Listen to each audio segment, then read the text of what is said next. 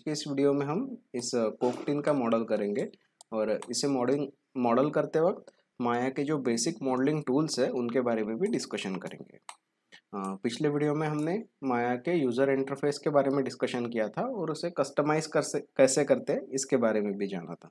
अगर आप माया में नए हैं और अगर आपको माया के यूज़र इंटरफेस में कुछ कन्फ्यूज़न है तो आप जाकर वो वीडियो ज़रूर देखिए। आज के वीडियो में हम इस कोकटिन का मॉडल करेंगे। तो सबसे पहले मैं फ़ाइल में आ रहा हूँ एंड फ़ाइल में आकर न्यू सीन कर लेता हूँ। एंड, अब हमारा एक न्यू सीन क्रिएट हो गया है। नाउ मैं स्पेस बार प्रेस कर रहा हूँ ताकि मैं फोर पैनल व्यू में आ सकूँ और किसी भी ऑब्जेक्ट को मॉडल करने के लिए हमें एक रेफरेंस इमेज की ज़रूरत होती है। और कोकटिन के मॉडल की हज़ारों इमेजेस हमें इंटरनेट पे इजीली मिल जाती है अगर हम गूगल सर्च करते हैं तो। मैंने कुछ इमेजेस डाउनलोड करके रखी हुई है। अगर आप गूगल पे जाके कोकटिन का इमेज सर्च करते हैं तो आपको ये सारी इमेजेस मिल जाएँगी। आ, ये जो इमेज है इसे हम एज अ रेफरेंस यूज़ करने वाले हैं। तो मैं इसे क्लोज कर रहा हूँ और मैं माया में आ जाता हूँ। माया में आकर मैं फ्रंट व्यू में आ रहा हूँ एंड फ्रंट व्यू में हम व्यू में आते हैं एंड यहाँ पे अगर इमेज प्लेन में आते हैं तो यहाँ इमेज इंपोर्ट करने का ऑप्शन है। तो मैं इंपोर्ट इमेज कर रहा हूँ। इंपोर्ट इमेज करके मैं सोर्स इमेजेस के फोल्डर में आ जाता हूँ और यहाँ पे ये जो ज़ीरो वन है, ये मेरा ओरिजिनल ये मेरा रेफरेंस इमेज है। तो मैं इसे ओपन कर रहा हूँ। तो ये रेफरेंस इमेज यहाँ माया में ओपन हो गया मैं स्पेस बार वापस एक बार प्रेस करता हूँ ताकि मैं फोर पैनल व्यू में आ जाऊँ और मैं इसे सिलेक्ट करके थोड़ा सा पीछे कर लेता हूँ, क्योंकि ये मेरे ज़ीरो टू वन स्पेस में है। और जब मैं इसे मॉडल करूँगा और जो भी बेसिक प्रिमिटिव मैं यहाँ पे क्रिएट करूँगा, वो भी ग्रिड ज़ीरो पे क्रिएट होगा। तो वो दोनों image plane and basic primitive दोनों ओवरलैप ना हो, इसलिए मैं इस रेफरेंस इमेज को थोड़ा पीछे कर रहा हूँ। अब, मुझे इसे मॉडल करने के लिए एक बेसिक प्रिमिटिव की ज़रूरत पड़ेगी। हाँ अगर इस शेप को देखते हैं तो ये बेसिक सिलेंडर शेप है और इसे क्रिएट करने के लिए हम सिलेंडर सिलेंड्रिकल शेप का यूज़ करेंगे। तो अगर मैं यहाँ क्रिएट में आता हूँ तो क्रिएट में यहाँ पॉलीगॉन प्रिमिटिव्स है। यहाँ पॉलीगॉन प्रिमिटिव्स में आने के बाद यहाँ सिलेंडर का प्रिमिटिव अवेलेबल है। तो मैं अगर इसे क्लिक करता हूँ तो ये ग्रिड के ज़ीरो में क्रिएट हो जाएगा। मेक श्योर sure कि आपका इंटरेक्टिव क्रिएशन का जो ऑप्शन है, वो चेक ऑफ़ है। अगर ये ऑप्शन चेक ऑन रहता है तो आपको इसे इंटरक्टिवली क्रिएट करना होगा। तो अगर मैं इसे ऑन कर लेता हूँ और एक बार फिर से अगर सिलेंड्रिकल शेप लेता हूँ तो यहाँ पर कोई शेप क्रिएट नहीं हुआ है। अगर हमें अब शेप चाहिए तो मुझे उसे ग्रिड पर ड्रॉ करना होगा। तो मैंने पहले इसका बेस ड्रॉ कर लिया है। अब यहाँ मैसेज आ रहा है drag up to set height तो मैंने इसे इसकी हाइट सेट कर ली। तो कुछ इस तरह से हम इंटरेक्टिवली इसे ड्रॉ कर सकते हैं। बट मुझे इसे ग्रिड ज़ीरो पे क्रिएट करना है। तो मैंने इंटरेक्टिव क्रिएशन चेक ऑफ़ कर दिया एंड यहाँ पे मैं सिलेंडर पे क्लिक कर रहा हूँ। अब यहाँ पर मेरा बेसिक प्रिमेटिव क्रिएट हो गया। मैं वापस एक बार फ्रंट व्यू में आ रहा हूँ और स्पेस बार क्लिक कर रहा हूँ ताकि फ्रंट व्यू को फुल स्क्रीन कर सके।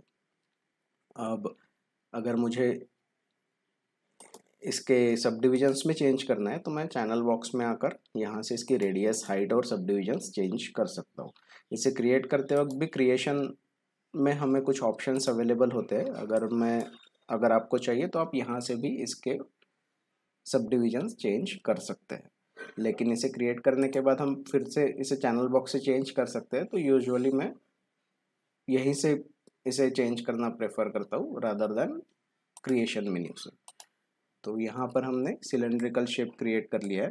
अब मैं इसे स्केल कर लेता हूँ इस शेप इस साइज़ में। तो मैंने आर प्रेस किया है कीबोर्ड पर ताकि मैं स्केल टूल को एक्टिवेट कर सकूँ और मैं यहाँ सेंटर से इसे स्केल कर रहा हूँ। अगर आप इसे पर्टिकुलर एक एक्सिस में स्केल करते हैं तो ये नॉन प्रोपोर्शनली स्केल हो जाएगा। अगर मैं यहाँ front view four panel view में आके अगर मैं इसे सिर्फ़ एक एक्सिस में स्केल करता हूँ तो ये नॉन प्रोपोर्शनली स्केल होगा जब हमें इसे अगर हमें इसे प्रोपोर्शनली स्केल करना है तो इसे सेंटर से सिलेक्ट करके इसे स्केल कीजिए ताकि ये प्रॉपरली प्रोपोर्शनली स्केल हो। अब मैंने इस इसे स्केल कर लिया। अब मैं इसकी हाइट भी सेट कर लेता हूँ। वाई एक्सिस में मैं इसे वापस एक बार स्केल कर रहा हूँ एंड मैक्सिमम मैंने इसे कवर कर लिया है। बट जो हमारा बेसिक प्रिमिटिव है आ, उसके वजह से हमारा रेफरेंस इमेज कवर हो गया है। मुझे इसके थ्रू दिख नहीं रहा है। तो अगर हमें इसके थ्रू देखना है तो इधर वायर फ्रेम मोड में जाना होगा, जिसके लिए हम कीबोर्ड शॉर्टकट फोर यूज़ करते हैं, या फिर अगर मैं शेडेड मोड में ही रहता हूँ शेडेड मोड में वापस आने के लिए कीबोर्ड शॉर्टकट फाइव यूज़ करते हैं एंड शेडेड मोड में आकर यहाँ पे अगर मैं एक्सरे का ये जो ऑप्शन है, इसे एक्टिवेट कर लेता हूँ तो हम इसके थ्रू देख सकते हैं। तो इधर आप यहाँ पे पैनल टूल बार पे क्लिक करके एक्सरे में आ सकते हैं, या फिर पैनल मेनू बार में शेडिंग में यहाँ एक्सरे का ऑप्शन अवेलेबल होता है। तो अब हम इसके थ्रू देख सकते हैं। अब मुझे इसकी हाइट प्रॉपरली मैंने सेट कर ली है। अब हमें इस शेप को प्रॉपर सेट करना होगा। तो इसे सेट करने के लिए हमें कुछ डिविजन्स लगेंगे, क्योंकि यहाँ से इसे इनसाइड स्केल किया हुआ है। इन को हमें इनसाइड स्केल करना होगा। बट इस शेप को होल्ड करने के लिए हमें यहाँ पर एक एज लूप लगेगा। अगर हमें एज लूप चाहिए तो आइदर हम यहाँ से सब डिविजन्स ऐड कर सकते हैं, क्योंकि अभी तक हमने इसके कंपोनेंट में कोई भी चेंज नहीं किया है।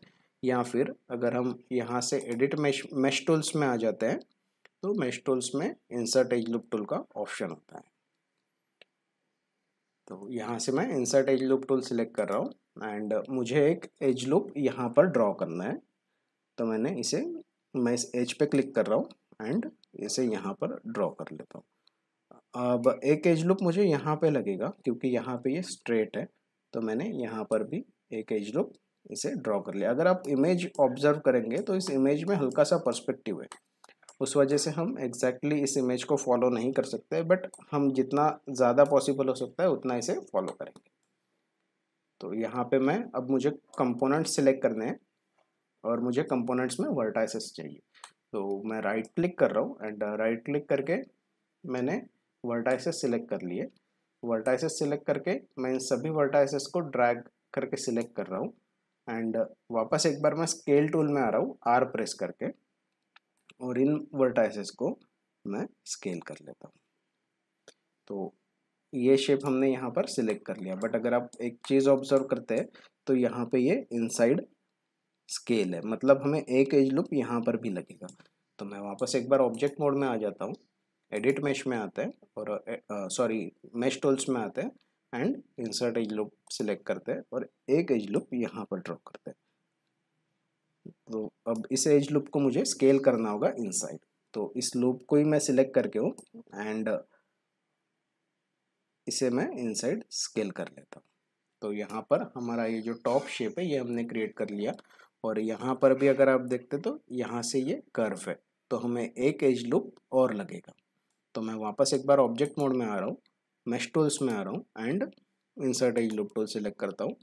अब मैं यहाँ पर एक एज लूप ले लेता हूँ, और इस एज लुप को अगर आपको, आपने उस एज लुप को डिसलेक्ट कर दिया है, और अगर आपको वापस कंप्लीट एज लुप सिलेक्ट करना है तो उसके लिए आप उस एज को सिलेक्ट कीजिए, उस पर डबल क्लिक कर दीजिए तो वो कंप्लीट लुप सिलेक्ट हो जाएगा।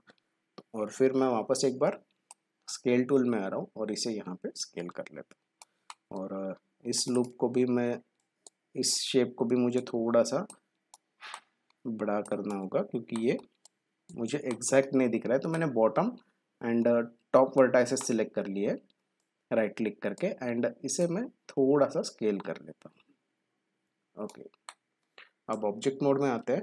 वापस एक बार एज लुप में आते हैं और इस एज लुप को मैं थोड़ा सा ऊपर मूव कर लेता हूँ क्योंकि ये थोड़ा नीचे हो गया था।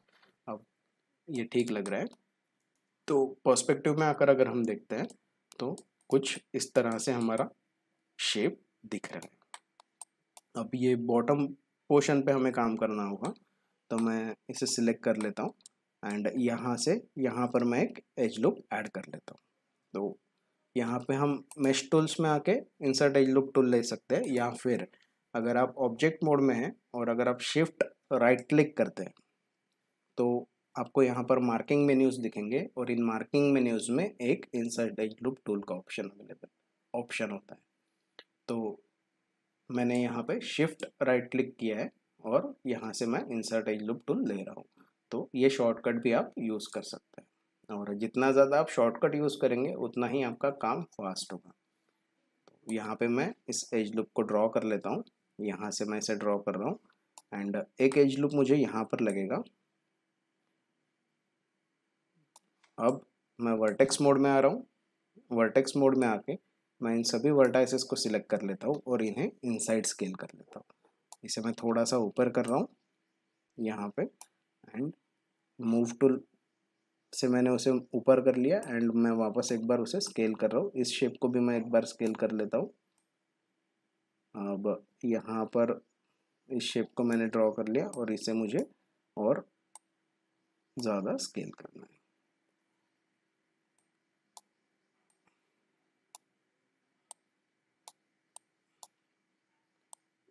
तो कुछ इस तरह से मैंने इस शेप को ड्रॉ कर लिया। अब अगर मैं पर्सपेक्टिव में आके देखता हूँ तो यहाँ पर हमारे पास ये शेप एक बेसिक शेप कैन का दिख रहा है।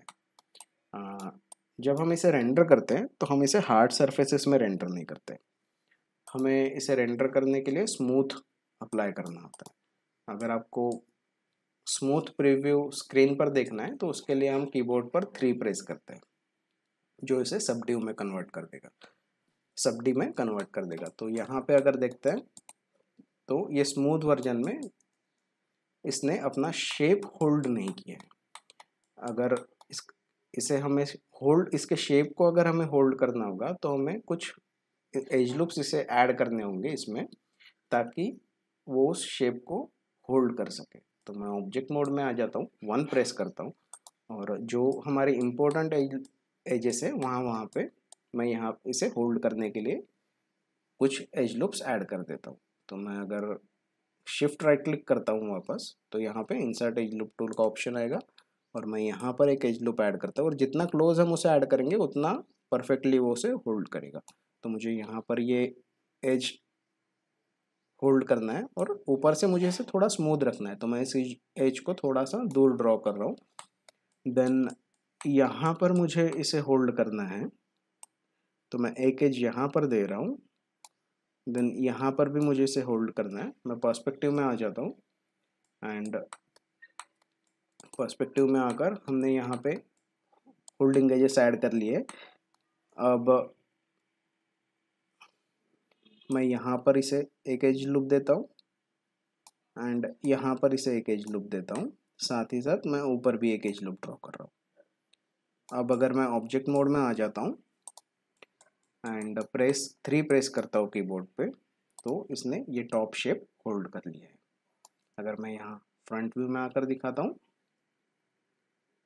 तो यहाँ पर इसने टॉप शेप होल्ड कर लिया है। मुझे wire frame on shaded on करना है तो मैं पहले तो यहाँ से wire frame on shaded on कर लेता हूँ, या फिर अगर मैं कीबोर्ड पे अल्ट एंड फाइव प्रेस करता हूँ तो भी हम wire frame on shaded on कर सकते हैं।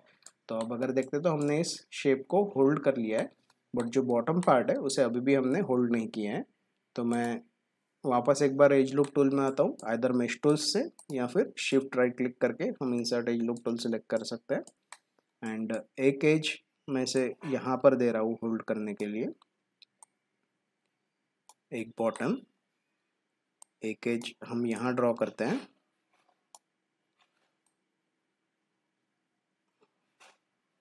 एंड एक यहाँ। तो अब अगर मैं ऑब्जेक्ट मोड में आता हूँ एंड कीबोर्ड पर थ्री प्रेस करते हैं तो इस शेप को हमने होल्ड कर लिया है। तो ये हमारा बेसिक शेप है, जो हमने हमारे रेफरेंस इमेज से ड्रॉ कर लिया है क्रिएट कर लिया है। अब मुझे इसका कैन का ये जो ऊपर का पोर्शन है, उसमें काम करना है। बट उससे पहले मैं इस फ़ाइल को सेव कर लेता हूँ। माया की एक पुरानी आदत है, ये कभी भी क्रैश हो सकता है। तो मैं इसे सेव कर लेता हूँ, सेव सीन एज, एंड यहाँ पर मैंने मेरा प्रोजेक्ट ऑलरेडी सेट करके रखा हुआ है तो वो यहाँ पर सेव हो जाएगा। तो मैं केक टीन ज़ीरो टू करके इसे सेव कर रहा हूँ। एंड मेक श्योर कि आपका जो एक्सटेंशन है वो एम ए है, माया आस्की नॉट बाइनरी क्योंकि जब कभी माया की फ़ाइल क्रैश हो जाती है तो माया एम ए जो इसका एक्सटेंशन है, वो एक टेम्प्ररी फ़ाइल क्रिएट कर लेता है और उसे सेव कर लेता है। तो अगर कभी हमारा क्रैश भी हो जाता है तो हमें टेम्प फोल्डर में माया का फ़ाइल मिल जाता है। बट अगर आप माया बाइनरी यूज़ कर रहे हैं तो बाइनरी में आपको कोई भी इस तरह का फ़ाइल सेव नहीं मिलता है। तो जितना भी आपका डाटा है, वो सारा लॉस हो जाएगा। तो इसकी ज़रूरत ही ना आए। आप हमेशा अपना वर्क सेव करते चलिए। और ये होता ही है, माया जब आपको लगता है कि नहीं, अब नहीं होगा या फिर हमारा काम हो चुका है, उसी वक्त क्रैश होगा। और इसकी यह आदत ही है। ये बहुत पुराना बग है माया का और ये अभी तक सॉल्व नहीं हुआ है। तो मैं इसे सेव कर लेता हूँ। अब हमें इस टॉप पार्ट पे काम करना है। इस टॉप पार्ट पे काम करने के लिए हमें एक और रेफरेंस इमेज लगेगा, जो टॉप पार्ट टॉप पोर्शन का है। तो यहाँ पर मैं स्पेस बार प्रेस कर रहा हूँ और टॉप व्यू में आके उसे हाईलाइट कर लेते हैं फुल स्क्रीन एंड यहाँ व्यू में आकर मैं वापस इमेज प्लेन सिलेक्ट कर रहा हूँ या फिर आप यहाँ से ये जो शॉर्टकट्स हैं इमेज प्लेन के, इन्हें भी यूज़ कर सकते हैं। तो यहाँ पे मैं इमेज प्लेन के शॉर्टकट पे पैनल टूल बार पे मैंने क्लिक किया एंड यहाँ सोर्स इमेजेस में मैं आ जाता हूँ। और सोर्स इमेजेस में आके यहाँ पे कुछ टॉप के रेफरेंसेस है। एक ये इमेज है जो हम यूज़ कर सकते हैं, या फिर एक ये इमेज है जिसे हम यूज़ कर सकते हैं। तो ये इमेज क्लियर है तो मैं इस इमेज को सिलेक्ट कर रहा हूँ एंड इसे मैं ओपन कर लेता हूँ। अब इसे ओपन करने के बाद ये इमेज काफ़ी बड़ा है और यहाँ पर मैं अगर एक्सरे ऑन कर लेता हूँ and wire frame on shaded alt F five या फिर यहाँ से हम इसे ऑन कर सकते हैं। और मैं इस इमेज प्लेन को सिलेक्ट करके इसे मैं स्केल कर रहा हूँ, ताकि मैं इसे प्रॉपरली सेट कर सकूँ। अब हमें पता होना चाहिए कि हमारा टॉप कहाँ तक है। तो हमारा जो टॉप एरिया है, वो ये जो फेस है, इतना ही है। तो अगर आपको इस पूरे सर्कल को सिलेक्ट करना है, ये ट्रायंगल में है। अगर ये कॉर्ड्स में होता और अगर मैं शिफ्ट डबल लिक करता था फेस सिलेक्ट करके तो ये कंप्लीट फेस लुक सिलेक्ट कर सकता था। बट ट्रायंगल्स होने की वजह से ये लूप सिलेक्ट नहीं करेगा। और यहाँ पे हमें कुछ और ट्रिक यूज़ करनी होती है। तो अगर मैं टैब की प्रेस करता हूँ कीबोर्ड पे और टैब की को प्रेस करके अगर यहाँ पर मैं ड्रॉ कर लेता हूँ ड्रैग करता हूँ माउस को तो ये उन सभी को सिलेक्ट कर लेगा। तो टैब एंड ड्रैग तो ये कंप्लीट फेस हम सिलेक्ट कर सकते हैं। अब ये जो फेस है, इतना ही फेस हमारा टॉप व्यू का है। और बाकी जो है वो बॉटम पोर्शन तो इस इन फेसेस को मैंने सिलेक्ट कर लिया है और उसके साथ ही मैं इस टॉप के इमेज प्लेन को सिलेक्ट कर रहा हूँ और टॉप व्यू में आकर इसे मैं आइसोलेट कर लेता हूँ। आइसोलेट करने के लिए यहाँ पर ऑप्शन अवेलेबल है जो पैनल टूल बार में या फिर हम यहाँ शो में आकर आइसोलेट सिलेक्ट कर सकते हैं। तो ये जो है, मैंने सिलेक्ट कर लिया है दोनों, एक इमेज प्लेन एंड एक ये टॉप फेस और हम इसे आइसोलेट कर सकते हैं। उसके लिए कीबोर्ड शॉर्टकट कंट्रोल वन भी आप यूज़ कर सकते हैं, या फिर यहाँ से हम इसे आइसोलेट कर सकते हैं। तो ये जो पोर्शन है, हमने आइसोलेट कर लिया। अब इतने फेसेस और इमेज प्लेन सिर्फ़ हमें यहाँ दिख रहा है। तो मैं इमेज प्लेन को वापस सिलेक्ट कर रहा हूँ। एंड इसे मैं स्केल कर लेता हूँ हमारे शेप के हिसाब से। तो हमारा शेप कुछ इतना है एंड ये मैंने यहाँ पे सिलेक्ट कर लिया। अगर आप देखते हैं तो इस इमेज में भी थोड़ा सा पर्सपेक्टिव है और ये परफेक्ट नहीं बैठ रहा है इमेज बट स्टिल हमारा काम इससे हो सकता है। तो यहाँ पर इसे सिलेक्ट कर लिया है मैंने। मैं थ्री प्रेस कर रहा हूँ एंड अब अगर यहाँ आते हैं पर्सपेक्टिव में एंड मैं टॉप व्यू को सिलेक्ट टॉप के इमेज प्लेन को सिलेक्ट करके थोड़ा नीचे सरका लेता हूँ ताकि वो हमें वहाँ डिस्टर्ब ना करे। अब इसे सिलेक्ट करके ये बहुत ज़्यादा ब्राइट दिख रहा है इमेज प्लेन दोनों फ्र, फ्रंट और टॉप तो इसे सिलेक्ट करके यहाँ अगर हम इसके चैनल बॉक्स में आ जाते हैं तो यहाँ इसके कुछ ऑप्शंस अवेलेबल है जिसमें एक ऑप्शन है अल्फ़ा गेन तो मैं इसमें थोड़ा अल्फ़ा ऐड कर देता हूँ अल्फ़ा गेन ऐड कर देता हूँ तो वो थोड़ा सा फेंट हो जाएगा। एंड पॉइंट फाइव और सेम मैं फ्रंट व्यू के लिए भी कर रहा हूँ। इसे भी सिलेक्ट करके इसमें अल्फ़ा गेन ऐड करते हैं। अब इस इमेज में यहाँ पे ये यह हमारा टॉप व्यू है। एंड uh, इस टॉप व्यू के हिसाब से हमें अब काम करना है। तो मैं यहाँ आके इसका आइसोलेशन मुझे और एक फेस ऐड करना है। तो या फिर हम इसे सिलेक्ट कर लेते हैं वन प्रेस करते हैं एंड इन फेसेस को मैं सिलेक्ट कर रहा हूँ। इन फेसेस को सिलेक्ट करके अब मैं एक्सट्रूड कर लेता हूँ, ताकि हमें कैन का ये जो बॉर्डर है, ये मिल सके। तो इस बॉर्डर को क्रिएट करने के लिए मैं, पहले तो मुझे इसे एक्सट्रूड करना है तो एक्सट्रूड करने के लिए हम एडिट मेश में आते हैं, और यहाँ पे एक्सट्रूड का ऑप्शन अवेलेबल है। तो एक्सट्रूड पे मैं क्लिक कर रहा हूँ और यहाँ पे हमें एक मैनिपुलेशन हैंडल मिल रहा है एंड यहाँ पे कुछ ऑप्शंस आए हुए हैं। तो सबसे पहले तो है थिकनेस तो मैं पर्सपेक्टिव में आ जाता हूँ एंड यहाँ आने के बाद थिकनेस अगर हम इसे ऐड करते हैं तो हम इसे ऊपर या नीचे कहीं पे भी एक्सटेंड कर सकते हैं। तो मुझे वापस एक बार एक्सट्रूड कर रहा हूँ मैं। ओके तो थिकनेस हम इसमें ऐड कर सकते हैं। uh, उसके बाद लोकल ट्रांसलेट जी भी उसमें थिकनेस ही ऐड करेगा। देन अगर मुझे ऑफसेट चाहिए तो मैं इसे ऑफसेट दे सकता हूँ। अब अगर आप देखते हैं तो यहाँ अगर मैं टॉप फेस में आ जाता हूँ तो यहाँ पर हमें ये क्रीज क्रिएट करना था। तो ये क्रीज क्रिएट करने के लिए मैं अगर पॉइंट ज़ीरो फाइव इसमें ऑफसेट दे देता हूँ तो वो क्रीज हमें यहाँ पर मिलेगा। एंड देन uh, मुझे इसे नीचे एक्सट्रूड करना है। तो मैं इसे वापस एक बार एक्सट्रूड कर लेता हूँ। तो वापस एक बार एक्सट्रूड करने के लिए मैं एडिट मैश में आ रहा हूँ और इन जो सिलेक्टेड फेसेस है उन्हें वापस एक बार एक्सट्रूड कर लेते हैं। अब यहाँ पे आइधर आप इस मैनिपुलेशन हैंडल को यूज़ कर सकते हैं या फिर इन ऑप्शंस को यूज़ कर सकते हैं या फिर एक्सट्रूड करने के बाद अगर आप मूव टूल एक्टिवेट कर लेते हैं डब्ल्यू प्रेस करके और इसे मूव करते हैं नीचे तो भी आप इसे एक्सट्रूड कर सकते हैं। तो मुझे नहीं पता एग्जैक्टली exactly कि कितना इसका डेप्थ था बट uh, मैं मैन्युअली इसे यहाँ तक रख रहा हूँ। अगर हम रेफरेंस इमेजेस देखते हैं तो इस इमेज में अगर हम देखते हैं तो ये कुछ इतना डीप है। तो यहाँ पर मैंने इसे एक्सट्रूड कर लिया है एंड अब मैं ऑब्जेक्ट मोड में वापस आ रहा हूँ। ऑब्जेक्ट मोड में वापस आने के बाद, इस इमेज को अगर हम देखते हैं तो ये जो पार्ट है, इसमें आर्क है और ये होल्ड किया हुआ है। तो हमें यहाँ पे होल्डिंग एजेस ऐड करनी पड़ेगी। तो सबसे पहले मैं एक एज ऐड कर रहा हूँ, जो यहाँ पर मुझे चाहिए। अब हम insert edge loop tool select करते हैं और यहाँ पर एक एज ऐड कर लेते हैं। अब इस एज को ऐड करने के बाद मैं मूव टूल में आ रहा हूँ। इस एज लुक को सिलेक्ट कर रहा हूँ। एंड इस एज लुक को सिलेक्ट करके मैं इसे थोड़ा नीचे कर लेता हूँ।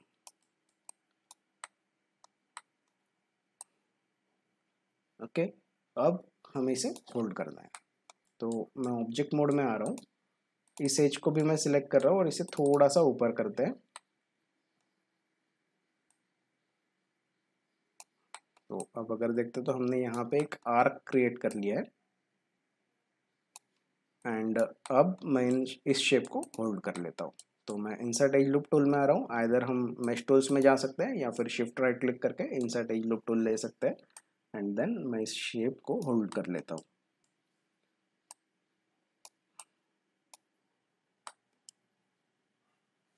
एंड यहाँ पर मुझे एक एच लुक चाहिए। तो मैं ऑब्जेक्ट मोड में आ रहा हूँ।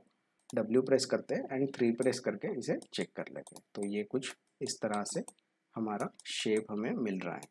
बट यहाँ पे इस शेप को हमने होल्ड नहीं किया है तो उस वजह से जब हम स्मूथ कर रहे हैं तो ये यहाँ पे अपना शेप छोड़ रहा है। अब यहाँ पे अगर देखते हैं तो हमें इसको, इस शेप को भी क्रिएट करना होगा। ये अगर देखते हैं तो थोड़ा सा ऊपर के तरफ़ आया हुआ है। यहाँ क्रीज क्रिएट हुए एक, दो और ये थर्ड क्रीज तो ये शेप अब हमें क्रिएट करना होगा। तो वो क्रीज क्रिएट करने के लिए मैं इन फेसेस को सिलेक्ट कर रहा हूँ। मैं टैप की प्रेस कर रहा हूँ।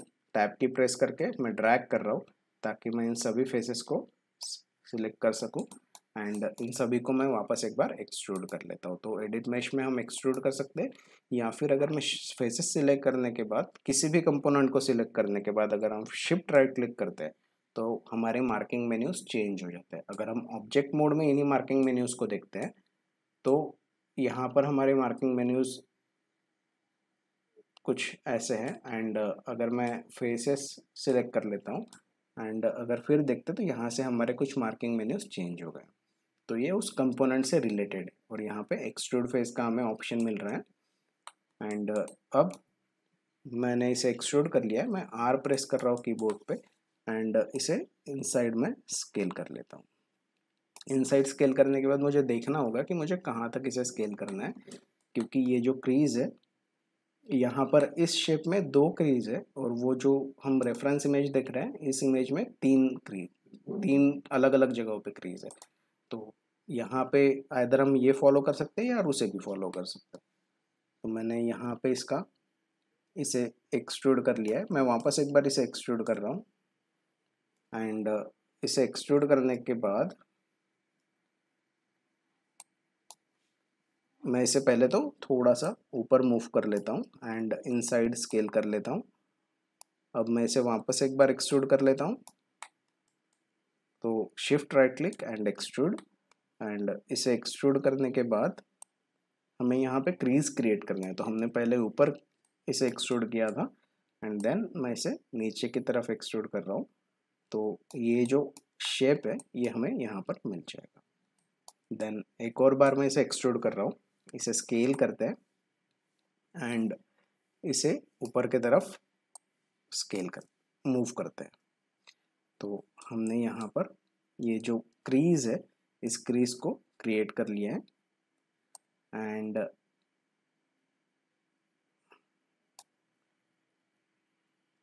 मैं इसे मूव कर रहा हूँ अप थोड़ा एंड इसे एक बार और एक्सट्रूड करके।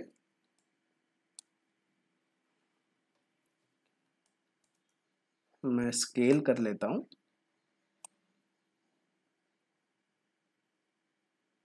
यहाँ पे।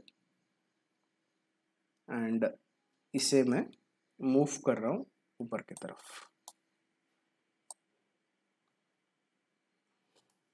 ओके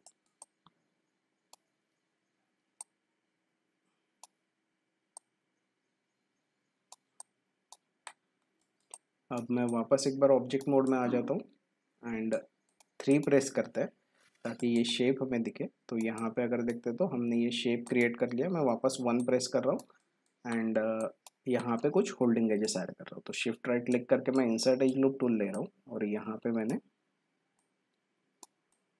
ये एक एज ऐड किया है। एंड देन इस शेप को भी मुझे होल्ड करना है। इसे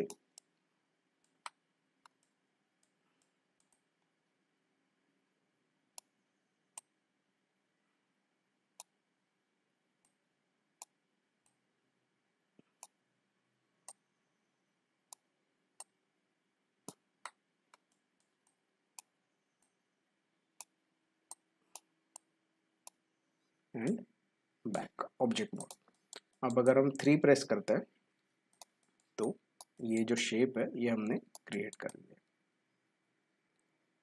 अब वापस एक बार मैं टॉप व्यू में आ रहा हूँ, और टॉप व्यू में आके हम इस शेप को चेक करते हैं। तो ये हमारा शेप है, और उसके बाद यहाँ पे ये क्रीज है, जो नीचे की तरफ़ पुश हुई है। तो ये ओपनिंग लीड का पुश है। तो इसे हमें मॉडल करना होगा। तो उसे मॉडल करने के लिए मैं वापस इन फेसेस को सिलेक्ट कर रहा हूँ। एंड टैप प्रेस करके मैं ड्रैग कर रहा हूँ, ताकि मैं सभी फेसेस को एक साथ सिलेक्ट कर सकूँ। एंड इन्हें सिलेक्ट करके मैं वापस एक बार वन प्रेस कर रहा हूँ और इसे मैं एक्सट्रूड कर लेता हूँ इनसाइड तो इसे एक्सट्रूड कर रहा हूँ। एंड अगर आप इस शेप को ऑब्ज़र्व करते हैं तो ये जो शेप है, ये सिमेट्रिकल शेप है। एंड अगर मैं इसका हाफ़ प्रॉपरली मॉडल कर लेता हूँ तो सेकेंड हाफ़ मुझे ऑटोमेटिकली मिल जाएगा। तो मुझे सिमेट्री अगर ऑन करनी है तो उसके लिए हमें मूव टूल के ऑप्शंस में आना होगा। यहाँ पे टूल बार पे अगर मैं आता हूँ और मूव टूल पे डबल क्लिक करता हूँ तो उसके टूल सेटिंग्स में ऑप्शंस ओपन हो जाएँगे। एंड उसके बाद यहाँ पे सिमेट्री सेटिंग होती है। इस सिमेट्री सेटिंग में अगर आप देखते हैं तो ये ब्लू कलर का एरो हमें दिखा रहा है, जिसे हमें मूव करना है, अगर मैं वर्टाइसेस में आता हूँ तो ये जो ब्लू कलर का एरो है, इसे ही मैं मैक्सिमम मूव करूँगा तो मैं इसका सिमेट्री में आकर ऑब्जेक्ट जेड सेलेक्ट कर लेता हूँ एंड इसे क्लोज कर लेते तो अब अगर आप देखोगे तो यहाँ पर सिमेट्री ऑब्जेक्ट जेड ऑन हो गया और ये यहाँ पर शो कर रहा तो इस, इसे मैं प्रॉपरली यहाँ पर एडजस्ट कर लेता हूँ। अगर मैं ये वर्ड इस साइड से किसी वर्टेक्स को मूव करता हूँ तो ये सेकंड साइड का जो वर्टेक्स है, उसे भी मूव करेगा। तो मैं इसके मेश फ्लो को ध्यान में रखते हुए इसे मूव कर रहा हूँ। एंड इस शेप में हम इसे मूव कर लेते हैं।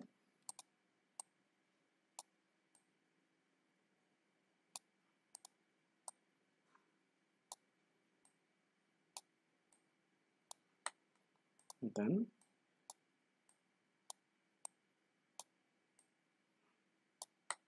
यहाँ पर ये करेक्ट ही है तो यहाँ पे ये जो साइड है, ये साइड हमारा ऐसा लग रहा है कि थोड़ा सा बाहर गया हुआ है बट हमारा जो इमेज है, वो इमेज एग्जैक्ट नहीं है। इसमें थोड़ा सा पर्सपेक्टिव है, उस वजह से हमारे दोनों साइड्स थोड़े से डिफरेंट दिख रहे हैं। बट ये जो शेप है, ये सिमेट्रिकल है। तो मैंने एक साइड से इसे सेट कर लिया है तो ये सेकेंड साइड से एग्जैक्टली ऐसे ही रहेगा।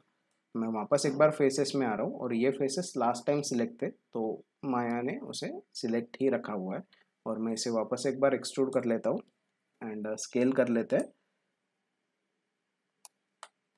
अब मैं वर्टाइसेस में आ रहा हूँ एंड इन्हें सिलेक्ट करके इन्हें हम मूव कर लेते हैं।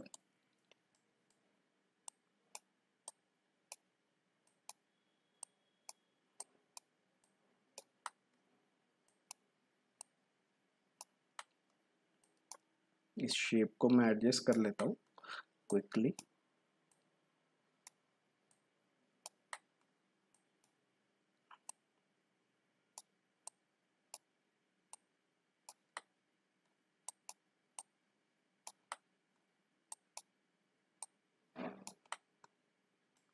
तो हमने इस शेप को यहाँ पर एडजस्ट कर लिया। ये एक वर्टेक्स हमारा बच गया ओके और इसे मैं थोड़ा सा बैक साइड मूव कर रहा हूँ। अब अगर हम ऑब्जेक्ट मोड में आते हैं और यहाँ पर हम पर्सपेक्टिव में देखते हैं तो ये जो शेप है, ये हमने क्रिएट किया है। एंड मैं वापस एक बार फेसेस में आ रहा हूँ। एंड फेसेस में आके ये जो फेसेस है, ये लास्ट सिलेक्टेड थे। ये वैसे ही सिलेक्टेड है। इन्हें मैं नीचे मूव कर लेता हूँ, ताकि हमें वो क्रीज मिले। तो ये नीचे मूव करने के बाद मैं ऑब्जेक्ट मोड में आ रहा हूँ एंड मैं थ्री प्रेस करता हूँ ताकि मैं उस शेप को देख सकूँ। तो अगर आप देखते तो वो शेप हमने क्रिएट कर लिया है, लेकिन उसमें होल्ड नहीं है। तो उसे हमें होल्ड करना होगा। तो मैं ऑब्जेक्ट मोड में आके शिफ्ट राइट क्लिक कर रहा हूँ and insert edge loop tool select कर रहा हूँ। एंड नाउ मैं यहाँ पे एक एज लुक दे देता हूँ ताकि इसे होल्ड कर सके और यहाँ पर एक एंड इसे यहाँ पर एक एज लुक दे देते इस साइड ट्राइंगल है तो उस वजह से हमारा एज लुक काम नहीं करेगा। तो मैं इसे थ्री प्रेस कर रहा हूँ। एंड अब अगर देखते हैं तो हमने ये जो शेप है, इसे क्रिएट कर लिया है। मैं टॉप व्यू में आके एक बार आपको दिखा देता हूँ। तो ये शेप एग्जैक्टली यहाँ पर प्लेस्ड है। अब इस शेप के बाद यहाँ पर एक ओपनिंग कैप का शेप है। इसे भी हमें मॉडल करना होगा। तो मैं वन प्रेस कर रहा हूँ। एंड वन प्रेस करके मैं इन फेसेस को सिलेक्ट कर लेता हूँ। मैं टैब की से इसे सिलेक्ट कर रहा हूँ। एंड सिमेट्री में होने की वजह से जब मैंने हाफ़ फेसेस सिलेक्ट किए तो अदर हाफ़ ऑटोमेटिकली माया ने सिमेट्री से सिलेक्ट कर लिया तो अब मुझे इस शेप को क्रिएट करना है। इस शेप को क्रिएट करने के लिए मैं वापस एक बार एक्सट्रूड फेसेस कर रहा हूँ।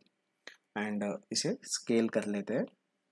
और इसे स्केल करने के बाद ये भी शेप सिमेट्रिकल है। ऐसे लग रहा है कि ये सिमेट्रिकल नहीं है बट ये इमेज पर्सपेक्टिव का प्रॉब्लम है। तो हम इसे सिमेट्री में सेट कर लेते हैं। तो मुझे इस आर्क को फॉलो करना है। मैं मूव टूल में आ रहा हूँ एंड इसे यहाँ पे हम प्रॉपरली एच फ्लो के हिसाब से सेट कर लेते हैं।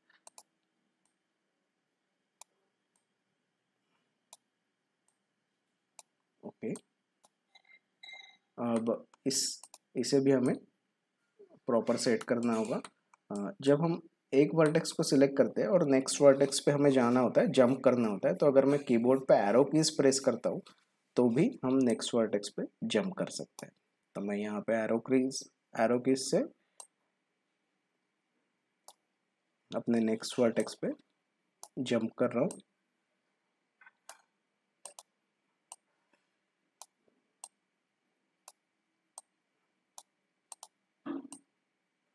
ओके तो हमने इस शेप को यहाँ पे क्रिएट कर लिया है और मुझे एक और शेप चाहिए तो मैं वापस फेसेस में आ रहा हूँ और इस फेस को मैं वापस एक बार एक्सट्रूड कर रहा हूँ एंड एक्सट्रूड करके वर्टाइसिस में आके इन्हें सेट कर लेते हैं।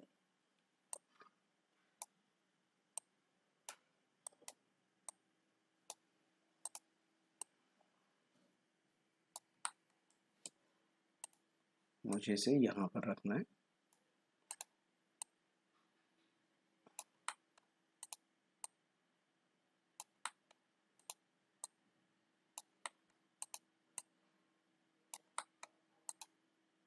मेश फ्लो मेंटेन करना होगा हमें।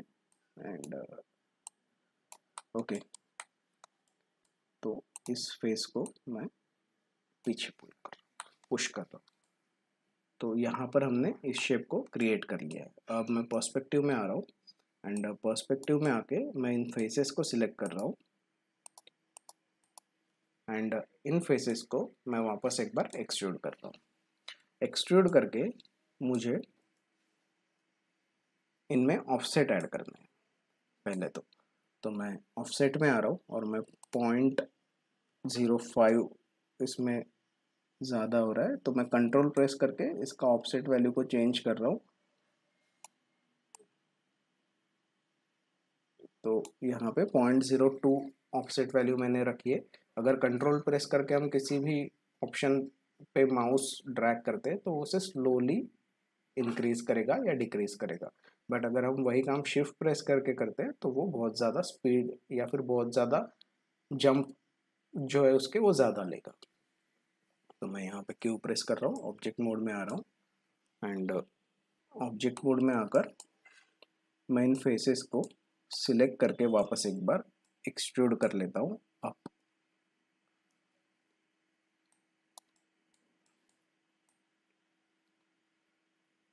और मैं वापस एक बार ऑब्जेक्ट मोड में आके थ्री प्रेस कर रहा हूँ कीबोर्ड पे। तो ये जो हमारा शेप है, ये कुछ ऐसा यहाँ पे हमने क्रिएट कर लिया। इसे भी होल्ड करना होगा तो मैं वन प्रेस कर रहा हूँ। एंड यहाँ पे इंसर्ट एज लुप टूल लेकर मैं पहले तो यहाँ पे एक एज लुप ले लेता हूँ, जो हमने दिया नहीं था। देन इस शेप को भी मुझे होल्ड करना है यहाँ से। एंड मुझे इसे भी होल्ड करना होगा। बट मैं इसे ज़्यादा एजेस नहीं दे रहा हूँ। दो ही एजेस में मैं इसे क्लोज कर रहा हूँ।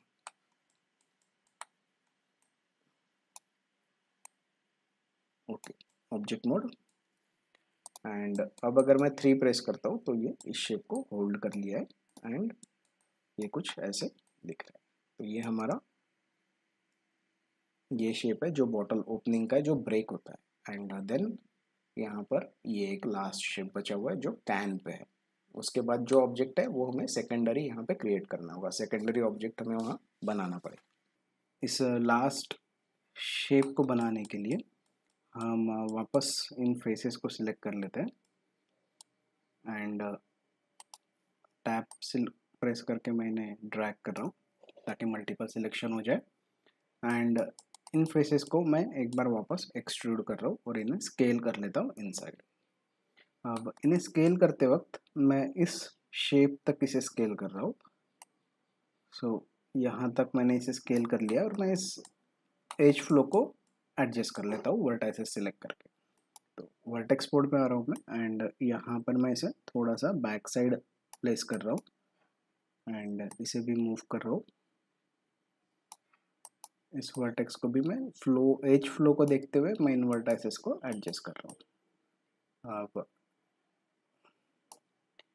इन्हें भी हम थोड़ा थोड़ा मूव कर लेते हैं। एंड यहाँ से इसे शुरू करते हैं, मैं इसे बैक कर रहा हूँ।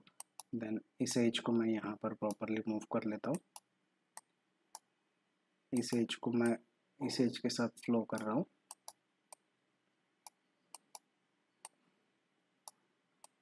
सो so, हमारा जो एच फ्लो है, वो हमने मेंटेन कर लिया और यहाँ पर हमें एक शेप मिल रहा है। ये। और इसी शेप से हम वो जो कैन ओपनर का शेप है, उसे एडजस्ट करेंगे। मैं इसे वापस एक बार अगर एक्सट्रूड कर लेता हूँ टॉप व्यू में आके यहाँ पे ये दो गलत फेसेस सिलेक्ट हुए तो मैं इन्हें अंडू कर रहा हूँ। एंड इतना ही हमें चाहिए। तो वापस एक बार इसे एक्सट्रूड करते हैं आर प्रेस करते हैं एंड इसे एडजस्ट कर लेते हैं। अब मैं वर्टाइसिस में आ रहा हूँ मूव टूल सिलेक्ट कर रहा हूँ और इन्हें प्रॉपरली इस एज पे प्लेस कर लेते हैं।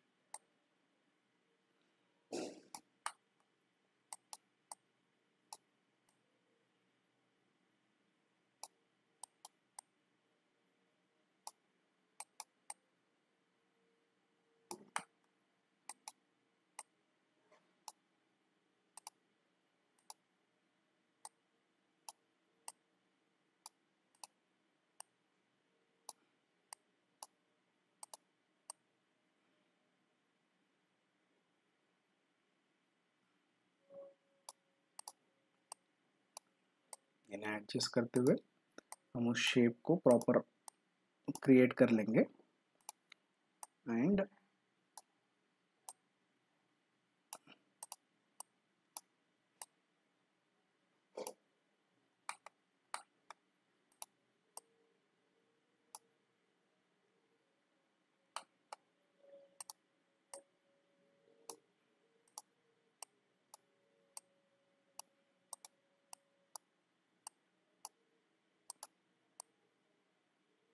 okay.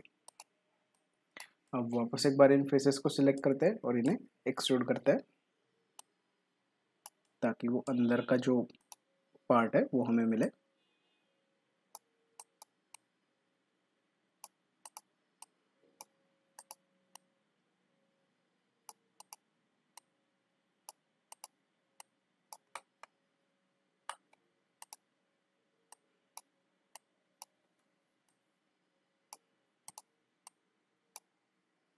ओके पर्सपेक्टिव में आ जाते हैं एंड फेसेस सिलेक्ट करते हैं और इन फेसेस को नीचे पुश कर देते हैं।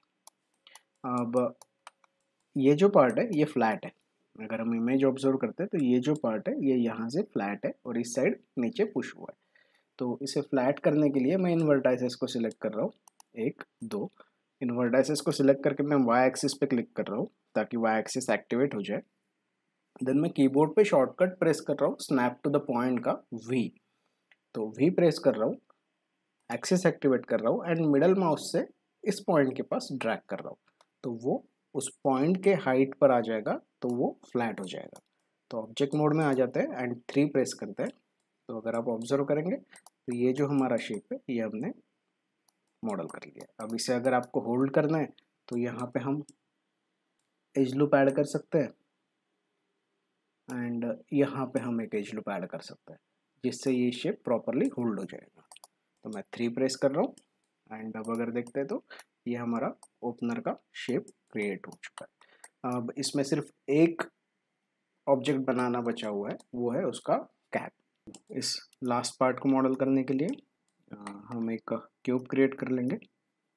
एंड क्यूब क्रिएट करने के लिए मैं वापस क्रिएट में आ रहा हूँ and polygon primitives and cube इस क्यूब को मैं ऊपर मूव कर लेता हूँ एंड टॉप व्यू में आकर आइसोलेट सिलेक्शन में ये हमें यहाँ पे विजिबल हो रहा है।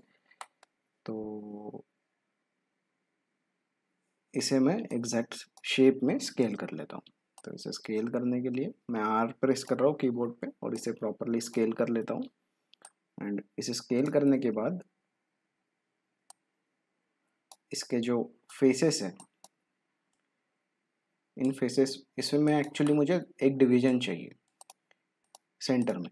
तो वो सेंटर डिवीज़न ऐड करने के लिए इधर हम insert edge loop tool use कर सकते हैं, या फिर अगर मैं एज मोड में आता हूँ और एक एज को सिलेक्ट करता हूँ एंड उस एज को सिलेक्ट करके अगर मैं कंट्रोल राइट क्लिक करता हूँ तो यहाँ पे ऑप्शंस आते हैं कुछ to edge ring utilities edge ring utilities and to edge ring and split तो वो एग्जैक्टली सेंटर से उसे डिवाइड कर देगा। तो इधर आप insert edge loop tool use कर सकते हैं या फिर अगर आपको सेंटर से किसी एज को डिवाइड करना है तो एजरिंग यूटिलिटीज से उसे स्प्लिट कर सकते हैं। या फिर एक और टूल होता है माया में एडिट मैश में, वो होता है कनेक्ट तो इससे भी आप उसे कनेक्ट कर सकते हैं। तो यहाँ पे आकर मैं इन फोर फेसेस को सिलेक्ट कर लेता हूँ और इन फोर फेसेस को सिलेक्ट करके हम इन्हें एक्सट्रूड कर लेंगे। इन्हें एक्सट्रूड करने के बाद इन्हें मुझे ऑफसेट में एक्सट्रूड करना है तो मैं इसे ऑफसेट में एक्सट्रूड करता हूँ और इसका जो की फेसेस टुगेदर का ऑप्शन है, इसे मुझे ऑफ़ करना है। मुझे इन्हें सेपरेटली एक्सट्रूड करना है। तो मैं इसे ऑफ़ कर देता हूँ तो ये सेपरेटली एक्सट्रूड हो गए एंड इन फेसेस को मैं बैक स्पेस प्रेस करके डिलीट कर देता हूँ। अब ये जो ओपन एरिया है, हमें इसे पहले क्लोज करना होगा तो उसके लिए मैं ऑब्जेक्ट मोड में आ रहा हूँ। ऑब्जेक्ट मोड में आकर हम append to polygon tool use करेंगे। जिससे mesh tools append to polygon tool and इससे हम इसे क्लोज कर लेंगे। तो append to polygon tool use करने के लिए मुझे इसके एच पे क्लिक करना होगा देन सेकेंड एच पे क्लिक करना होगा एंड अगर मैं एंटर प्रेस करता हूँ तो वहाँ पे हमें फेस मिलेगा। मैं जी प्रेस कर रहा हूँ to repeat the last tool H H enter then again G press करते हैं। Oh. हमें इस ऑब्जेक्ट पे एक्चुअली यूज़ करना है। Click click backspace click click and enter click click and enter अब इस साइड में भी मैं इसे क्लोज कर लेता हूँ। Click click click and enter click click again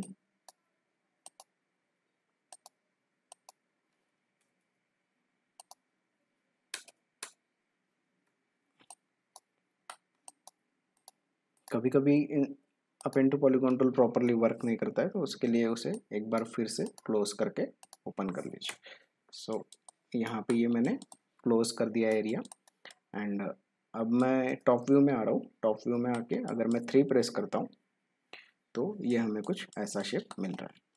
तो इसे मुझे थोड़ा सा स्केल करना होगा, क्योंकि ये थोड़ा छोटा हो गया एंड नाउ अगर मैं वर्टाइसिस में आता हूँ सबसे पहले तो मैं यहाँ पे एक एज लुक डाल देता हूँ। तो इस एज को सिलेक्ट करके मैं कंट्रोल राइट क्लिक कर रहा हूँ to edge ring utilities and to edge ring and split and यहाँ पे एक एज डालने के बाद इसने इस शेप को होल्ड कर लिया और मैं इसे स्केल कर लेता हूँ आउटसाइड अब इसे आउटसाइड स्केल करने के बाद अगर हम ऑब्ज़र्व करते हैं तो ये जो शेप है, ये हमें मिल रहा है। एंड देन मैं यहाँ पे भी एक एज ऐड कर लेता हूँ। एंड इस एज को मैं पीछे मूव कर लेता हूँ। यहाँ पे भी मुझे एक एज चाहिए तो edge ring utilities to edge ring and split मैं कर रहा हूँ। और ये जो एज है, इसे मैं डी सिलेक्ट कर रहा हूँ यहाँ से। एंड इस पार्ट को मैं और राउंड कर लेता हूँ। देन मुझे यहाँ पे भी एक एज चाहिए। तो एंड यहाँ पे भी एक एज चाहिए। तो इन दोनों एज लुप्स को मैं सिलेक्ट कर रहा हूँ एंड इन दोनों एज लुप्स को मैं पीछे की तरफ़ मूव कर लेता हूँ। यहाँ से मुझे इस फेस को एक्सट्रूड करना है।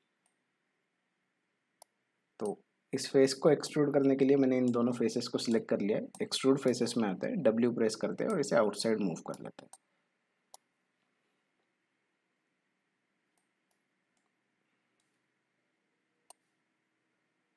Okay okay. इसे एक्सट्रूड करने के बाद मैं इसे स्केल कर लेता हूँ। अंडू करते हैं। ये प्रॉपरली मैं इसकी हिस्ट्री डिलीट कर रहा हूँ। Edit delete by type and history and मैं वापस इन फेसेस को सिलेक्ट कर रहा हूँ। और यहाँ से मैं सिमेट्री भी ऑफ़ कर देता हूँ। इस वक्त मुझे सिमेट्री का कोई काम नहीं है तो मैं सिमेट्री में आ रहा हूँ एंड सिमेट्री हम रिसेट कर देते हैं तो ये ऑफ़ हो जाएगा। एंड इसे मैं स्केल कर रहा हूँ। अब वर्टेक्स में आता है और इन वर्टाइसिस को मैं बाहर की तरफ़ पुल कर लेता हूँ, ताकि ये और ज़्यादा राउंडेड शेप दिखे। अब इस एज को मैं स्प्लिट कर लेता हूँ to edge ring utilities and split और इस एज को भी मैं स्केल कर लेता हूँ ताकि ये भी शेप हमें राउंडेड मिले। अब टॉप व्यू में आते हैं एंड इस शेप को यहाँ पे हम प्लेस करते हैं। तो ये काफ़ी बड़ा हो गया अगर देखते हैं तो मैं इसे स्केल कर रहा हूँ इन एंड इसकी जो पोजीशन है, उस पर मैं इसे प्लेस कर रहा हूँ। तो थोड़ा सा मैं इसे स्केल कर रहा हूँ।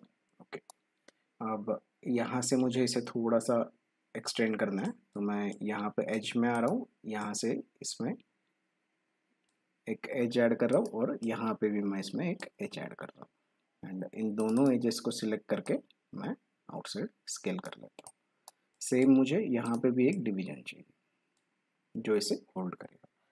तो अब अगर मैं ऑब्जेक्ट मोड में आ जाता हूँ एंड इस शेप को अगर हम देखते हैं तो ये शेप हमने यहाँ पे डिज़ाइन कर लिया है। मुझे इसे थोड़ा सा छोटा करना पड़ेगा, बट उतना ओके, स्केल करते हैं और ये यहाँ पे प्लेस हो गया।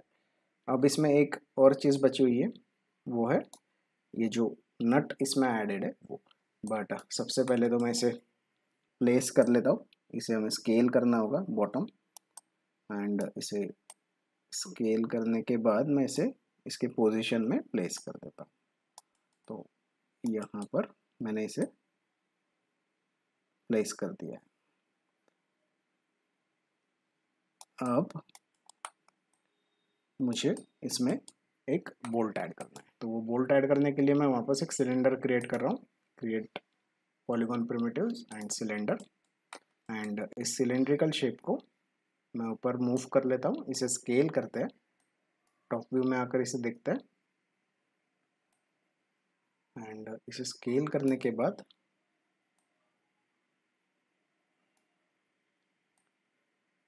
ओके तो इसे मूव करना होगा इसकी पोजीशन पे।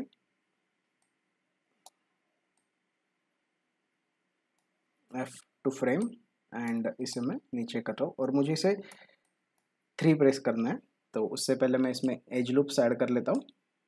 एक एज लूप मुझे यहाँ पर चाहिए और एक एज लूप हमें बॉटम में चाहिए। तो ऑब्जेक्ट मोड में आता है एंड थ्री प्रेस करते हैं। तो अब अगर देखते हैं तो ये हमारा कोक टीम का जो शेप है, वो हमने रेडी कर लिया मैं वायर फ्रेम में शेडेड ऑन कर रहा हूँ ये कुछ इस तरह दिख रहा है। तो ये हमारा फ़र्स्ट मॉडल था। ये एक्चुअली थोड़ा सा बड़ा हो गया है। इसका पोजीशन मेरे ख्याल से थोड़ा सा मूव हो गया है। तो मुझे इसे बैक साइड मूव करना होगा। ओके।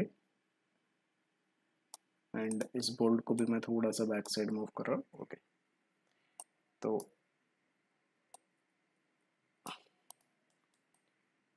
तो ये हमारा कोक कैन का मॉडल रेडी है। तो कुछ बेसिक मॉडलिंग टूल्स यूज़ करके हमने इस कोक कैन के मॉडल को डिज़ाइन किया। अब नेक्स्ट वीडियो में हम और ज़्यादा डिटेल में काम करेंगे बट uh, आज के लिए इतना ही। तो अगर आपको वीडियो पसंद आया तो इसे लाइक कीजिए और सब्सक्राइब कीजिए हमारे चैनल को। Thanks for watching